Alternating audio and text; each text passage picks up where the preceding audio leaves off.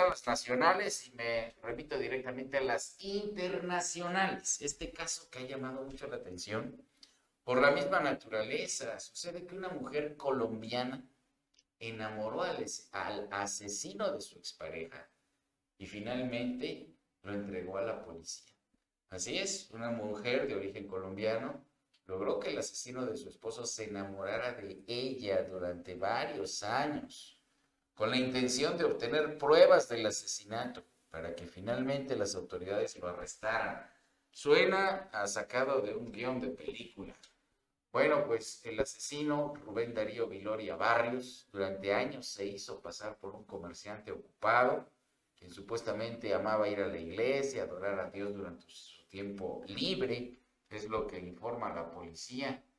Al tiempo que estas mismas autoridades colombianas señalaron que durante años este sujeto se hizo llamar Juancho y mantenía un bajo perfil porque coordinaba envío desde Centroamérica a Estados Unidos mediante lanchas rápidas de cocaína. A eso se dedicaba el sujeto.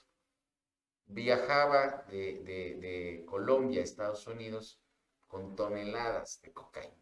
1.5 toneladas durante varios años. Bueno, pues resulta que durante ese tiempo estuvo detrás de muchos asesinatos y secuestros de sus competidores y otras personas fuera del crimen. En estas circunstancias, hay que señalar que el esposo de la mujer colombiana de la que estamos hablando descubrió la participación de Rubén en los crímenes, lo que llevó a este sujeto a ordenar su homicidio del hombre. Cuando la señora, la esposa de, del fallecido, viuda ahora, decidió vengar la muerte de su marido, pues se puso en contacto con el tal Juancho, para conocerlo más a fondo y con el tiempo enamorarlo. Durante varios años su plan fue funcionando. Este hombre finalmente aprendió a confiar en ella. No solo le contó de sus sentimientos, también sobre sus actos ilegales. Así que la mujer reunió suficiente evidencia de sus crímenes, le envió pistas a la policía, les informó de la reunión de este hombre con otros delincuentes en lugares secretos y finalmente, tras dar con él, lograron capturarlo y con un breve juicio le condenaron en total a 22 años de prisión.